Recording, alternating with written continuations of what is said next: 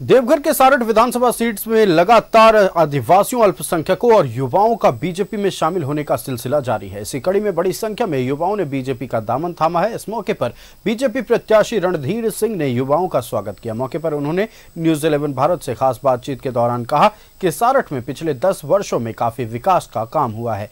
यही वजह है कि लोग प्रभावित होकर बीजेपी का दामन थाम रहे हैं।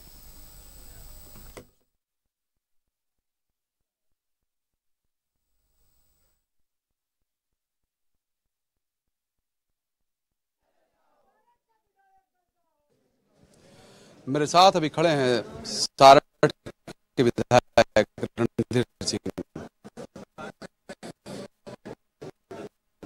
झारखंड सरकार में मंत्री भी रहे वर्तमान में विधायक हैं। ये तीसरी पारी।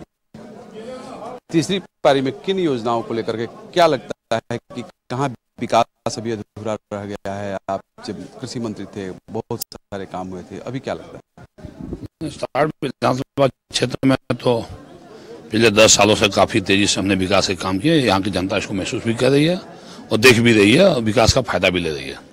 चाहे दूध प्रोसेसिंग प्लांट हो कोल्ड स्टोरेज हो, चाहे को पुलिस अनुमंडल बनाने की बात हो हो, चाहे रेलवे लाइन हो, चाहे ऑफ़ मेघा लिफ्ट इरीगेशन हो, चाहे पालाजोरी बिहार ग्रामीण जिला पूर्ति योजना हो सार बिहार ग्रामीण जिला पूर्ति योजना हो कमाटा बिहार ग्रामीण जिला पूर्ति योजना हो बड़े बड़े पुल पुलिये हो, रोड हो, ऐसे अनेक विकास के काम यहाँ हुए हैं। किसी के क्षेत्र में भी हमने लगभग बाईस सौ से ज़्यादा तालाबों का निर्माण जीर्णोद्धार हुआ है चेक डैम बने हैं बियर बने हैं लिफ्ट इरीगेशन का काम हुआ है। ऐसे अनेक विकास के काम यहाँ हुए हैं। और आगे तीसरी बार साठ विधानसभा क्षेत्र की जनता फिर से मुझे मौका देने के लिए बेकरार है और साठ क्षेत्र की जनता का मैं आभार व्यक्त करता हूँ। इतना बड़ा जन समर्थन मुझे मिल रहा है। अभी आप देख। रहे हैं युवाओं का क्रेज देख रहे हैं हम लोग लगातार लोग जुड़ रहे हैं युवा जुड़ रहे हैं आदिवासी जुड़ रहे हैं मतलब अल्पसंख्यक जुड़ रहे हैं। क्या कहना चाहिए? देखिए अभी कोई यहाँ पर जाति बंधन नहीं है विधानसभा में। आप देखा अभी काफ़ी आदिवासी नौजवानों ने, युवाओं ने पार्टी अभी ज्वाइनिंग किया है। आदिवासी हो, हर समाज के युवा वर्ग हो, अल्पसंख्यक हो, सभी समाज के लोग भारतीय जनता पार्टी में जुड़ रहे हैं और लगातार काम बढ़ता जा रहा है। मुझे लगता है कि रिकॉर्ड मत से इस चुनाव को हम लोग जीतने जा रहे हैं यहाँ पर और एनडीए की सत्ता में कम कर रही है।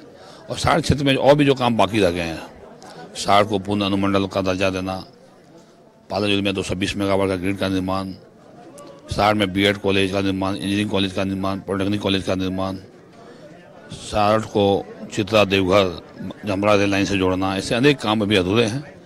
और यहाँ फ़ूड प्रोसेसिंग बुलाकर यहाँ को युवाओं को रोज़गार देना ऐसे अनेक काम अभी आने वाले समय मुझे करना है। देवघर या सारठ में प्रधानमंत्री की भी सभा है। क्या लगता है प्रधानमंत्री की सभा से कितना लाभ?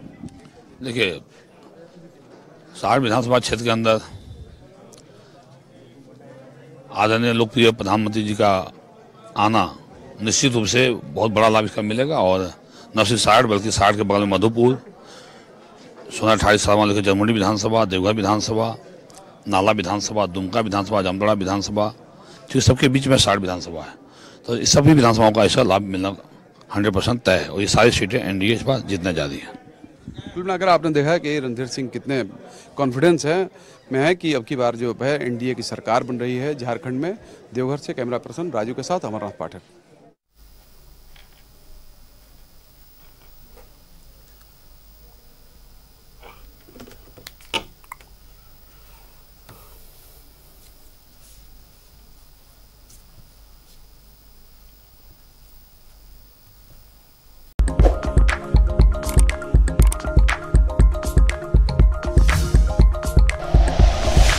Like and share videos, subscribe करें हमारा चैनल और प्रेस करें बेल आइकॉन न्यूज़ 11 भारत सच है तो दिखेगा।